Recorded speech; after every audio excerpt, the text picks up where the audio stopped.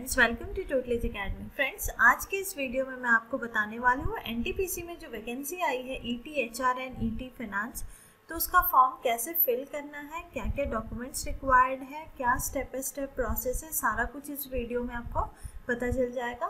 तो इस वीडियो को आप बहुत ध्यान से देखिए, आखिरी तक देखिए, ताकि फॉर्म फिलिंग के टाइम आपसे कोई गलती ना हो। कॉम्पिटिशन फॉर्म फिलिंग से ही स्टार्ट हो जाता है। जैसे कि मैं हमेशा आपको बताती हूँ फॉर्म में कोई गलती नहीं होना चाहिए क्योंकि फ़र्स्ट स्क्रीनिंग कई बार फॉर्म के बेसिस पे लोग करते हैं एंड उसके बाद ही कॉल लेटर आता है फॉर रिटर्न एग्ज़ाम तो स्क्रीनिंग में कोई गलत रिजेक्शन ना हो, इसको अवॉइड करने के लिए आप ध्यान से इस वीडियो को देखिए। यहाँ पे जो भी इम्पोर्टेंट चीज़ें हैं, छोटी से छोटी बातें मैं आपको यहाँ पे बताने वाली हूँ। तो चलिए स्टार्ट करते हैं। तो सबसे पहले आपको विज़िट करना है www.careers.ntpc.co.in एनटीपीसी की साइट पे जाना है और करियर सेक्शन में। तो ये डायरेक्ट करियर सेक्शन पे आप चले जाएँगे। वहाँ पे आपको फ़र्स्ट पेज पे ही डिटेल एडवर्टीजमेंट के लिए लिंक रहेगा। एडवर्टाइजमेंट जो है वो पॉपअप मूव होते रहेगा करंट ओपनिंग और क्लिक हेयर टू अप्लाई है। तो सब क्लिक हेयर टू अप्लाई पे आपको क्लिक करना है, उसके बाद ये पेज आ जाएगा। ठीक है? तो इस पेज में देखिए एडवर्टीजमेंट इंग्लिश और हिंदी में दिया है। यहाँ पे इन्होंने ये भी बता दिया है कि फ़ोटोग्राफ और पेन स्लिप का स्कैन कॉपी आपके पास होना चाहिए फॉर अपलोड अब जो पेन स्लिप है, वो उन्हीं के लिए एप्लीकेबल है जो फ़ी पेमेंट करेंगे। S C S T P W D candidates and female candidates exempted है, उन्हें फ़ी पेमेंट नहीं करना है। तो for general O B C and E W S candidate आपको पेन स्लिप रखना है अपलोड करने के लिए राइट right? और फोटोग्राफ एंड सिग्नेचर देन यहाँ पे जो मैंने आपको बताया कि एग्जेम्प्टेड है, वो भी यहाँ पे दे दिया है।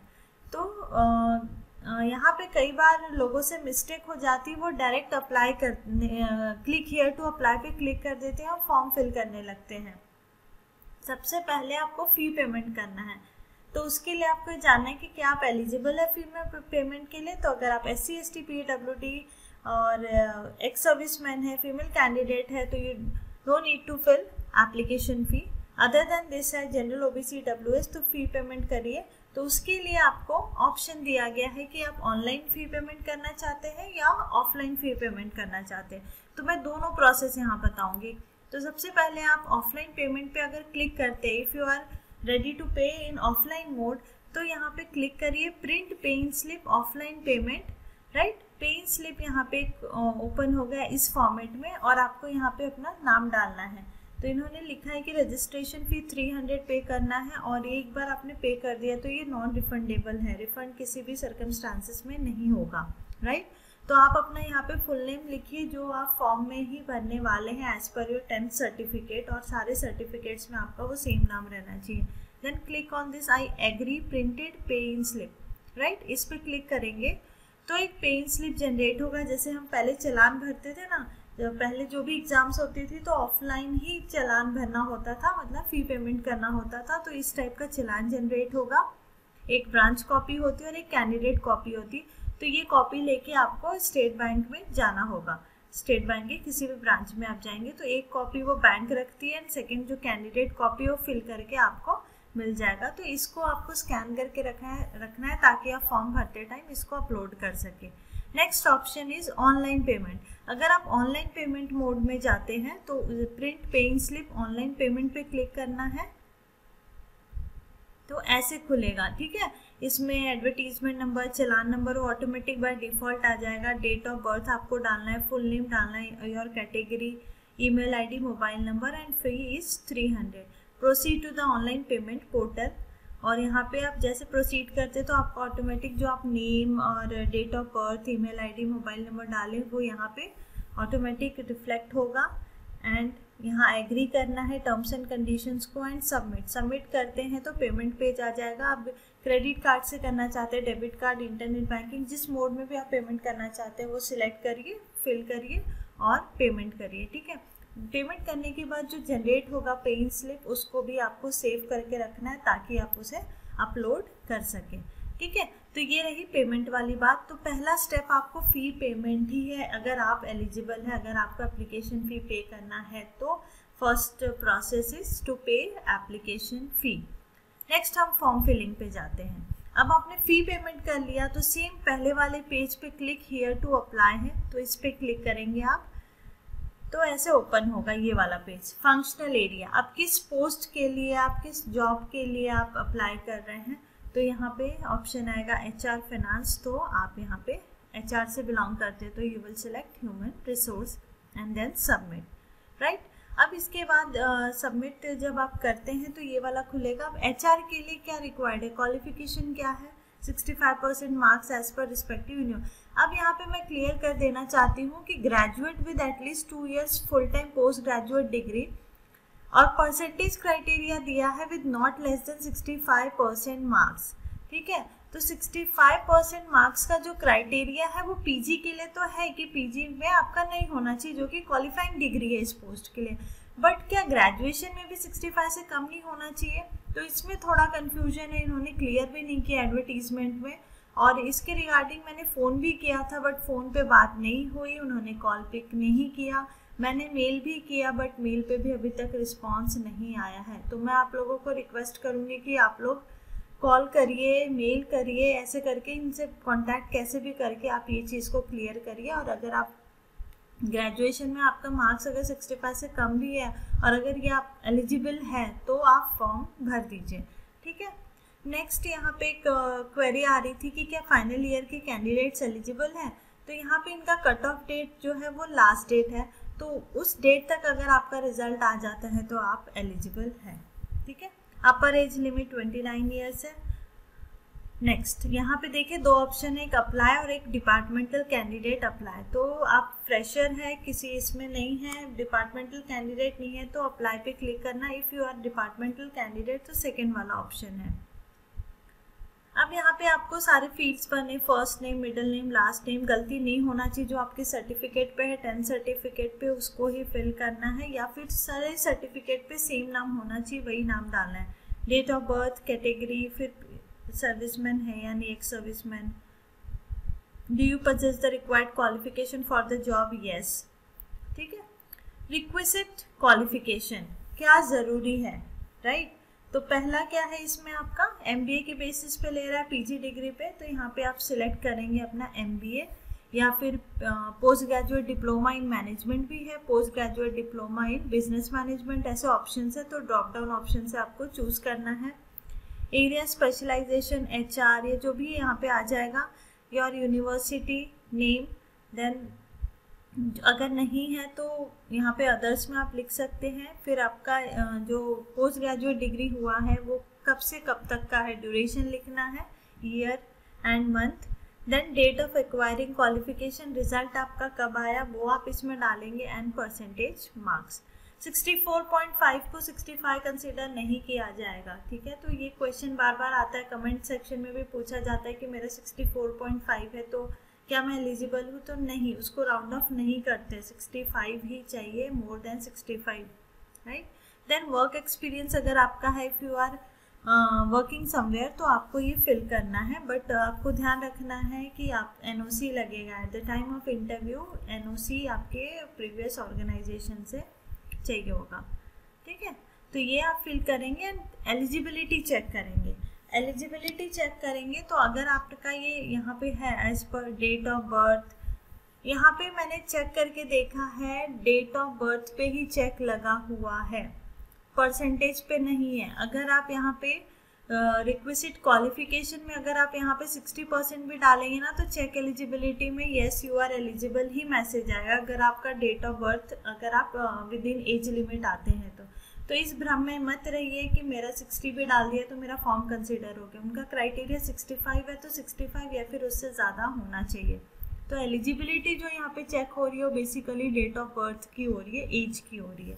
राइट तो जब आपको आ, कोई मैसेज नहीं आएगा डायरेक्ट ये पेज खुल जाएगा। अगर आप एलिजिबल है तो डायरेक्ट ये वाला पेज ओपन होगा और अगर नहीं है तो लिख के आ जाता है sorry you are not eligible right अब यहाँ पे एज इट इज़ जैसे आपने नेम फिल किया तो कॉपी हो जाएगा रिलीजन सेलेक्ट करना है देन योर एड्रेस आपको अच्छे से चूज़ करना है, क्योंकि एड्रेस पे कई बार अगर पेपर वेपर कुछ पोस्टल कम्युनिकेशन होता है तो उसी पर्टिकुलर एड्रेस पे आएगा then telephone mobile number fill करना है। Date of birth as it is आ जाएगा। टेस्ट सेंटर जो है, वो दो प्रेफरेंस देना है वन एंड टू तो आप एज पर योर कन्वीनियंस जहाँ पे जो नियरेस्ट हो, वो आप सेंटर डालेंगे। देन कैटेगरी के ऊपर क्वेश्चन है एक्स सर्विसमैन के ऊपर है then domicile of Jammu and Kashmir ये सारा कुछ है। नेशनलिटी करेंट लोकेशन आप कहाँ पे है? Then have you ever applied for NTPC अगर आपने पहले, इससे पहले एनटीपीसी में अप्लाई किया है तो उसके भी डिटेल देने हैं। डिटेल मतलब येस करके, ठीक है? Next is academic and professional qualification one two three four ऐसे करके फाइव सिक्स सेवन एट ऐसे चार बॉक्सेस दिए हुए हैं। तो पहले वाले में हायर टू लोअर आपको डालना है राइट तो पहले आपका जो पोस्ट ग्रेजुएशन डिग्री है, जो आपने फ़र्स्ट टाइम चूज़ किया था, यहाँ पे चेक एलिजिबिलिटी में, वही same as it is copy होके आ जाएगा, ठीक है? तो दोबारा आपको फिल करने की ज़रूरत नहीं, जो आपका क्वालिफाइंग जो रिक्वेस्ट क्वालिफिकेशन हमने भरा था, वो एज इट इज़ यहाँ कॉपी होके आ जाएगा। नेक्स्ट इज़ आपका दूसरी क्वालिफिकेशन जैसे ग्रेजुएशन का आप यहाँ डिटेल डाल दीजिए तो यहाँ पे परसेंटेज परसेंटेज इसमें नहीं पूछा है। वन मिनट हाँ तो यहाँ पे देखिए आपको क्वालिफिकेशन भरना है, ठीक है? Other than this qualifying degree then उसके अलावा भी कोई आपका क्वालिफिकेशन है तो यहाँ पे आपको भरना है। Next is work experience work experience पहले भी मैंने बताया था कि अगर आप कहीं वर्किंग है तो वहाँ लिखना है आपको वेरियस कॉलम है। Name of organisation with address position आप क्या हेल्प करें प्रोफ़ाइल क्या है, कब से कब तक करें करेंटली वर्किंग है क्या सेक्टर कौन सा है और पे स्केल क्या है मंथली राइट right? तो टोटल लेंथ आपका यहाँ पे लेंथ ऑफ़ सर्विस कैलकुलेट होके आ जाएगा। देन एडिशनल इन्फॉर्मेशन आपको देना है।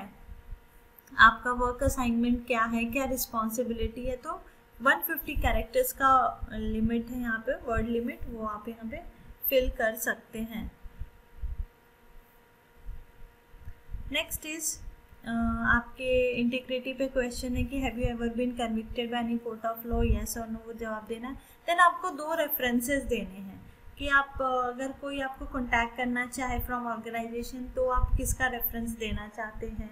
आप कई बार इसमें हम अपने कॉलेज का दे देते स्कूल का देते ताकि वो हमारे बारे में पता करें कि हम, हमारा आइडेंटिटी क्या है कैरेक्टर क्या है, वो सब कुछ। तो यहाँ दो रेफरेंसेस देना पड़ता है और ये एनटीपीसी हमेशा पूछता अपने फॉर्म में इससे पहले भी जब मैंने अप्लाई किया था तो ये चीज़ पूछी गई थी। देन आपको फ़ोटो अपलोड करना है, आपका सिग्नेचर अपलोड करना है pay in slip if you are applicable तो please upload your photograph yes तो ऑप्शन होगा। यहाँ अपलोड फ़ोटो कर दीजिए। जेपीईजी फॉर्मेट होना चाहिए जेपीजी फॉर्मेट होना चाहिए और 500 केबी से कम होना चाहिए।